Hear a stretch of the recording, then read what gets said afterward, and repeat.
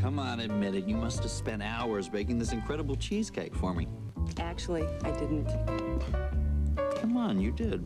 I didn't. Come on, you did. No, really, I didn't. Jell-O no bake cherry cheesecake. So rich and creamy, it tastes like it took hours to make. Okay, if I did, will you do the dishes? That's fair. They're quick, they're delicious. They're Jell-O no bake desserts. No bake one tonight. The food you love doesn't love you back, try new Maalox assorted tablets.